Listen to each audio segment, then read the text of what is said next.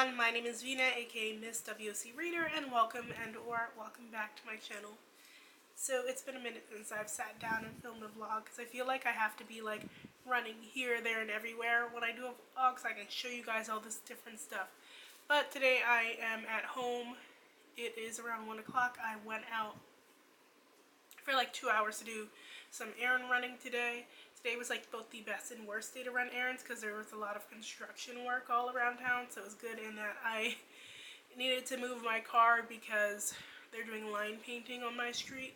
So I was like, oh, if I lose my space, it doesn't really matter because I have to go find a space um, on the other part of the street anyway.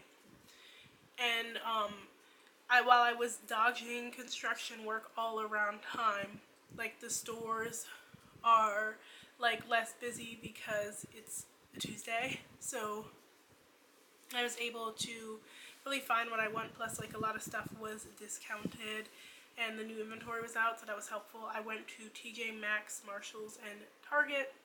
Um, I was trying to buy some essentials too because I am going on a vacation this month. It's going to be my final vacation of the year. I am going to Boston which I've been talking about going to Boston for a year now. Um, it's something my mom and I really want to do, so we're going to do it.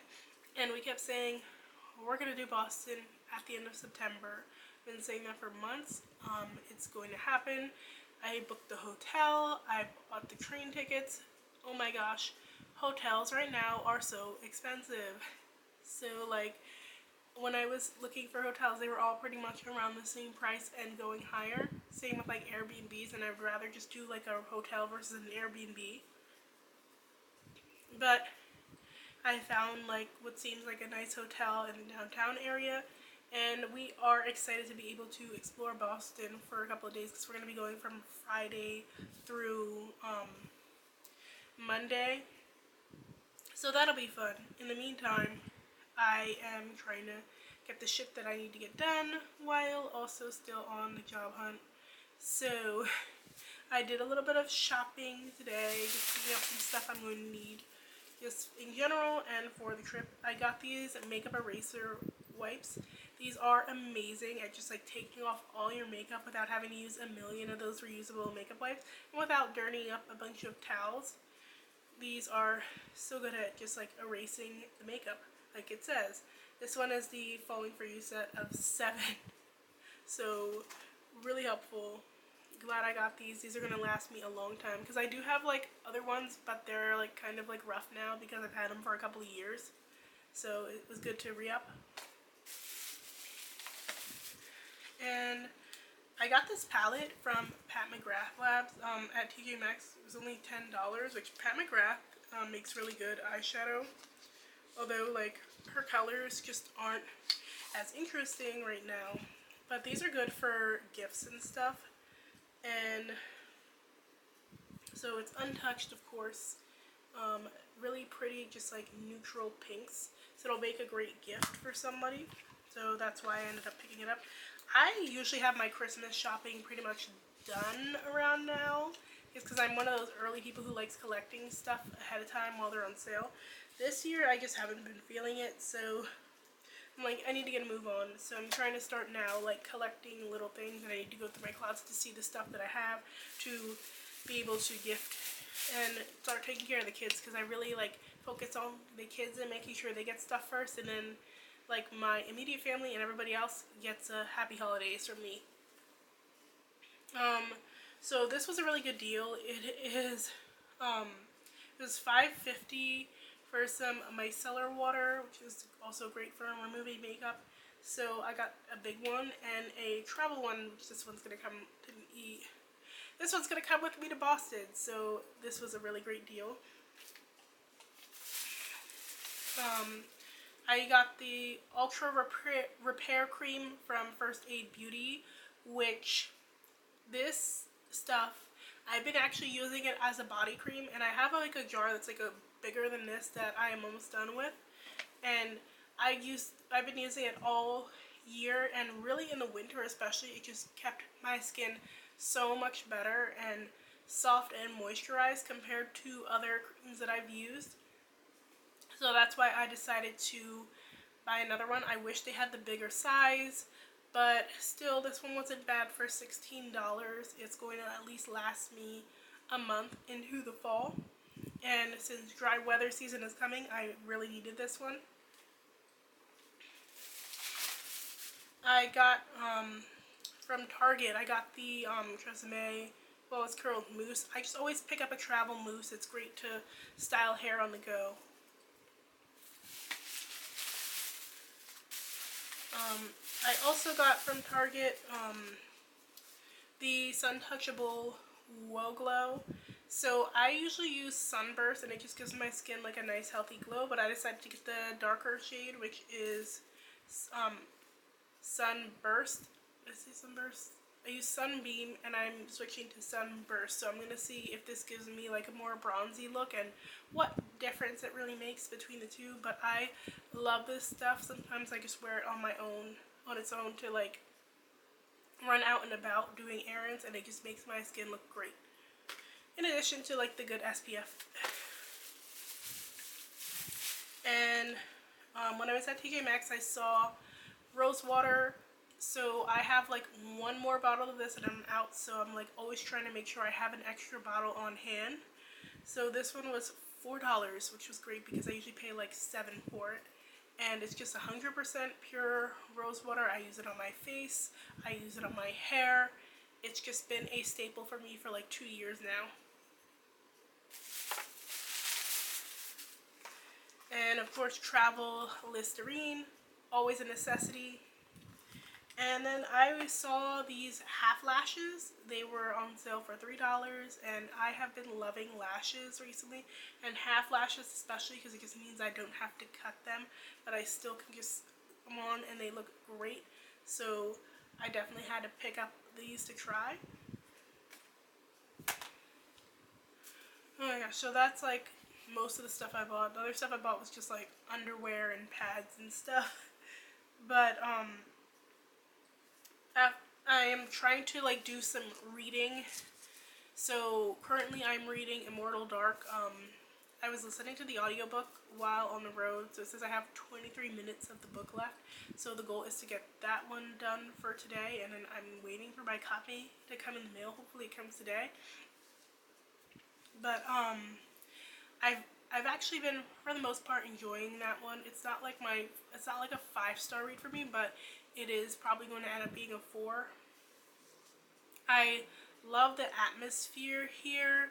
I think she does just such a great job, like really portraying the seductiveness of vampires, which I feel like not everybody does in their stories, and like that's one of my favorite parts of like vampire lore. So, um, as far as the dark academia part, uh, I wouldn't really call it dark academia. It's set at a school, but I don't feel like they really do anything with the academic side other than everybody's just trying to make sure that they pass their classes. Ooh, allergies have been kicking my ass like the past week. Um, so earlier I read Angelica and La Guerra, which I have been meaning to read for weeks and I don't know why I was putting it off, but it's actually a very cute story. So I'm going to go ahead and film a little reel for it. And I have some books that were gifted to me like a couple of weeks ago. So I have um, Sightseeing with Aliens, which is the recent one in the Supernatural Field Guide. And um, Chilling with Ghosts, which I already had a copy of. Um, I think I got it either earlier this year or last year. And then Hanging with Vampires, which I'm excited to read as well. But these are part of the to a totally factual field guide to the supernatural. These are great because they give you all this beginner information on whatever creature the book is about, along with the works cited page, book recommendations for the kids, um, as well as like some older stories as well. So it's something that adults can use as well. Like if you're interested in one of these creatures and maybe writing a story about them, you kind of use this as a jump off point to give you some factual information about different lore for them from around the world. So that's what I'm looking forward to here. And I think I'm going to start sightseeing with aliens just because it is the most recent one. I am also currently reading um, The Gifted Society, which I know I, have had on my TBR forever.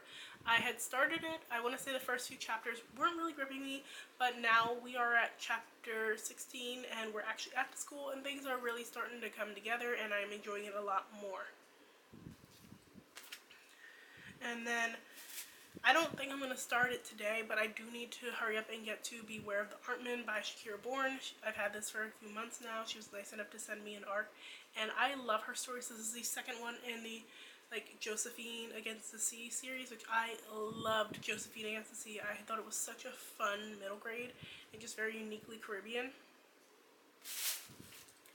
So I am going to go get a drink because my throat is extremely dry and um, have a little bit of content to film and I will check in with you guys in a little bit. Hey everyone, I'm back. So I'm like really bad at checking in, but I filmed two videos.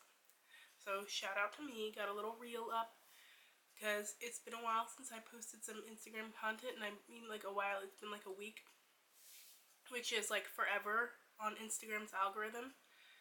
And I did a video that I need to edit now with for my August wrap up and my copy of Immortal Dark came in. So I did finish the book and I'm trying to now put together my thoughts about it um, into a review. I'm not sure quite what I want to say yet, but look how pretty it is. I love that. Yeah, so now I was making like um dinner earlier. I was just making some mashed potatoes because I had some potatoes have been sitting around for a while and I had some heavy whipping cream. And I started listening to Countess by Suzan Palumbo. And Countess so far is pretty interesting. I mean, it's a novella and I've been wanting to read something by this author. So it um, is kind of inspired by um, Indo-Caribbean heritage, which is something that was really fascinating to me as well. And I think this one is going to be a solid read.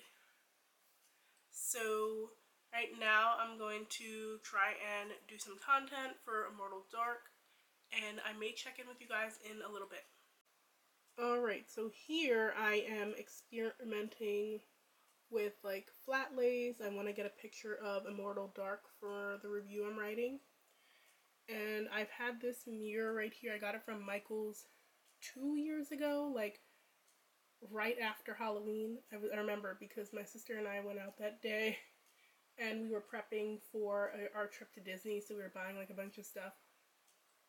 And this was like five and change, I think. So this is behind every mask. There is a face and behind that is a story and I've never gotten to use it but I just thought it was such a cool piece that I had to pick it up and I think it kind of fits here because like one of the big scenes in this book is like a masquerade scene and then I just have like a little fake rose over here so I'm trying to see if I can capture a pretty image to post Alright, so I am back with my last outfit change of the day. Woo! And I just filmed some stuff for Immortal Dark. And now I am actually watching some TV. Been really into the TV lately.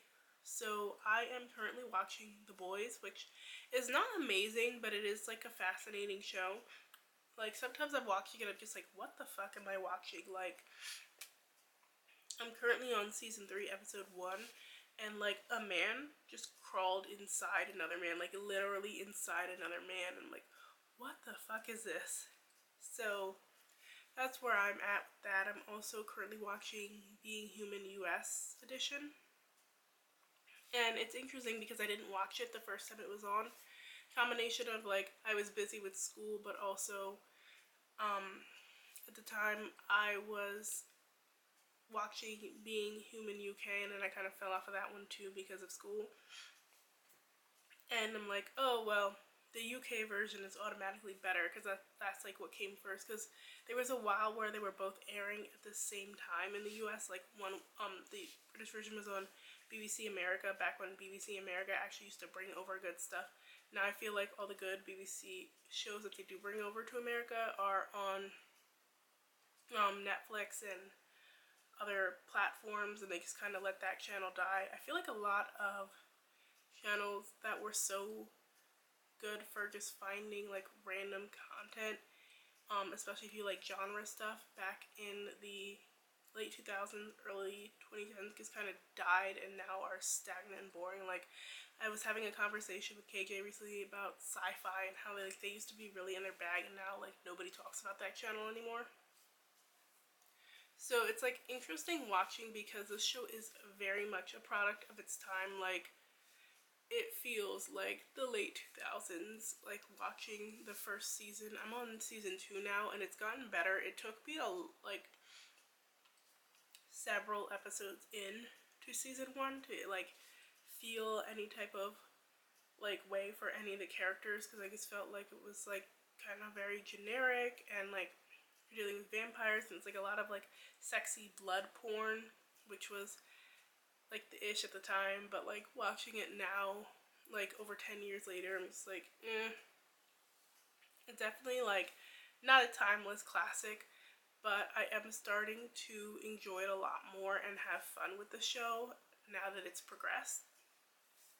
And I'm curious to see where it goes. So yeah, I'm going to watch a little TV and then hopefully I will get more reading done tonight.